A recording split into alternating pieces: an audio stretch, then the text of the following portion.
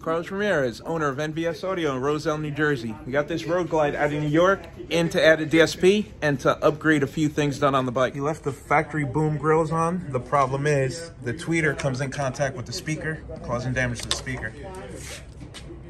Didn't open up the housing for the six and a half, so you're getting no mid bass in the front because six and a half is not mounted properly. We're gonna fix that. Gonna remove the connectors from the speakers and solder everything. Plus, we're also gonna upgrade these six nines. PRV makes a great speaker. The problem is these speakers do not play bass at all. There is no chance of you getting any sort of bass out of these speakers, especially considering that there's no spacer. So since there's no spacer, if this speaker had any sort of X-Max, it would automatically slap up against the bottom of the adapter. So we're gonna add a spacer. We're gonna upgrade these to the Hertz 690 Neos. Plus, this speaker does not have a tweeter. So he has no tweeters here, no tweeters in the front, and then a factory tweeter. We're gonna remove this, go with the Hog Tunes grill. We're gonna swap these out for the same exact speaker, but the ones with the tweeter in the center. So now he's gonna have tweeters in the front, tweeters in the back. It's gonna sound way better, and we're gonna be able to control it because we're adding a DSP. He's using Arc Auto, Arc Audio Moto 720 amp, which we love. So that's staying. We're just gonna add a DSP so we can control the sound. Now the speaker's sitting nice and flush. We have teeter, tweeters in the front. We have three-way, six nine in the back. Spacer, so six nine doesn't hit the adapter.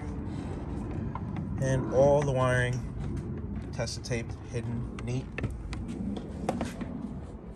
Carlos Ramirez, owner of NVS Audio in Roselle, New Jersey. Got this beautiful road glide. This one didn't come too far. Came from New York. Mount Vernon. Mount Vernon. Came in for a DSP and uh, speaker upgrade. Ended up upgrading the six nines to Hertz 690 Neos. The previous shop had wired the tour pack speakers in parallel with the six nines. We had to undo that because then that means that whatever the limit of the six and a half was, that was the only bass we could send to the six nine. So now we rewired it. These are on their own channel. These are on their own channel.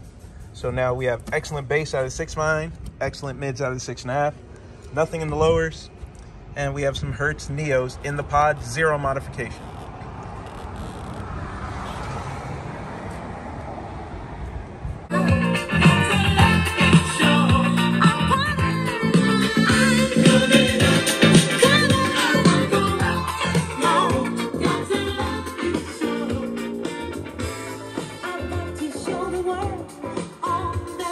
be and all my abilities.